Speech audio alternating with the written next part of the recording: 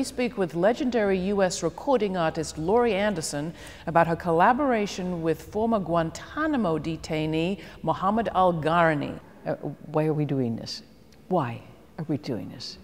What right do we have to do this? He told us we have to stand up, we have to resist, we have to fight.